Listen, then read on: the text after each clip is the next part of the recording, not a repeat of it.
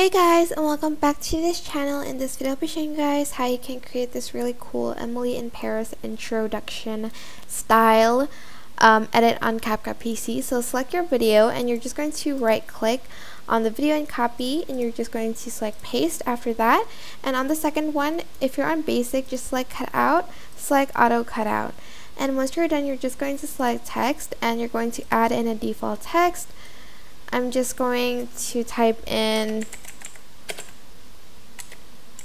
in Miami.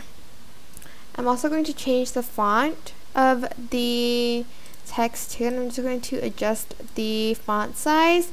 You can definitely change the color of the text if you want to.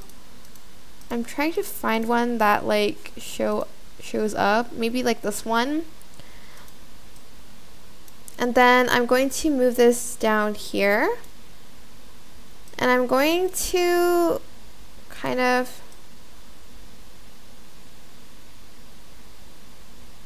copy and paste this. So uh, right click copy and then right click paste on top.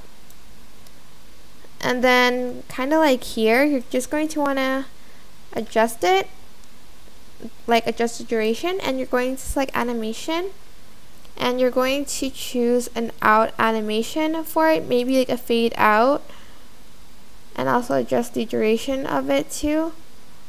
Maybe not that much. Or a blur. Let's see which one looks the best. I think I like the blur one the best. So I'm just going to add that in or you can choose a fade out. It is up to you. Um, actually, I'll just choose fade out for this video. Um, but that is basically it. You have like this kind of cool text style.